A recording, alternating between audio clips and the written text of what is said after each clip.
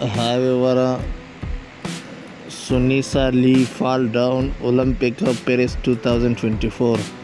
A hard fall during her balance beam routine kept uh, St. Paul Suni Lee off the podium in the women final Monday at the Paris Olympics.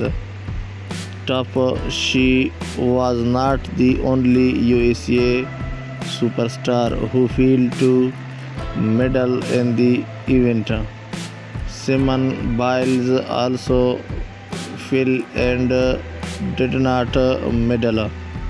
Friend, if you want more information about Sunisa Lee fall down Olympic Paris, then stay tuned with my channel and also subscribe my channel for the latest notification of my channel. Thank you.